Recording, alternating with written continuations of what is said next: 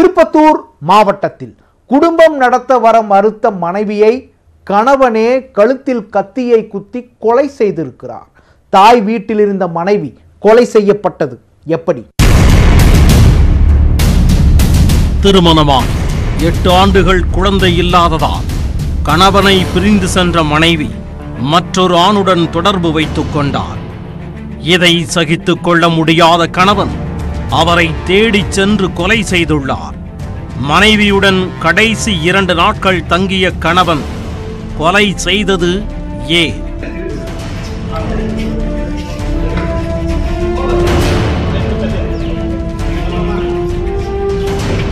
ஆந்திர மாநிலம் குப்பம் அடுத்த கிருஷ்ணாபுரம் பகுதியைச் சேர்ந்த வேல்முருகன் என்பவருக்கும் திருப்பத்தூர் மாவட்டம் எலவம்பட்டியைச் சேர்ந்த அருள்மொழி என்பவருக்கும் எட்டு ஆண்டுகளுக்கு முன் திருமணம் நடைபெற்றது. இருவருக்கும் குழந்தை இல்லாத நிலையில் கணவன் மனைவி இடையே அடிக்கடி தகராறு ஏற்பட்டு உள்ளது. இதனால் மனமுடைந்த அருண்மொழி குழந்தை பெற நினைத்து வேறு ஒரு ஆணுடன் நெருங்கி பழக அவர் மூன்று மாதம் கர்ப்பமடைந்துள்ளார். இந்த விவகாரம் கணவன் வேல்முருகனுக்கு தெரிய வரவே கணவன் மனைவி இடையே தகராறு ஏற்பட்டு உள்ளது. தகராறால் மனமுடைந்த அருண்மொழி தனது ஆண் நண்பருடன் பத்து நாட்களுக்கு முன் வீட்டை விட்டு சென்று விட்டார். மனைவியை காணவில்லை என்று குப்பம் காவல் நிலையத்தில் வேல்முருகன் புகார் அளித்தார்.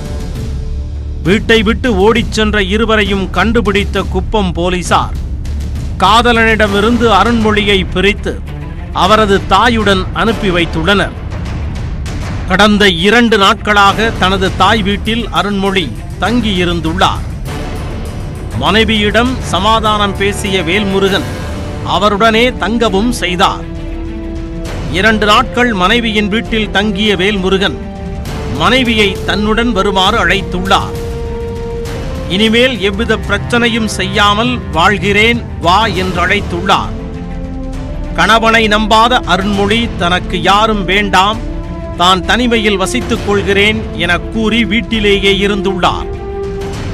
மனைவி மீது தீராத ஆத்திரத்தில் இருந்த வேல்முருகன் தான் மறைத்து வைத்திருந்த கத்தியால் அருண்மொழியின் கழுத்து வாய் கை போன்ற இடங்களில் சரமாரியாக குத்திவிட்டு தப்பி ஓடி உள்ளார் மகளின் சத்தம் கேட்டு அருள்மொழியின் தாயார் சின்னப்பாப்பா அறைக்குள் வந்தபோது அங்கே இரத்த வெள்ளத்தில் அருண்மொழி இறந்து கிடந்ததை பார்த்து போலீசாருக்கு தகவல் தெரிவித்துள்ளார்.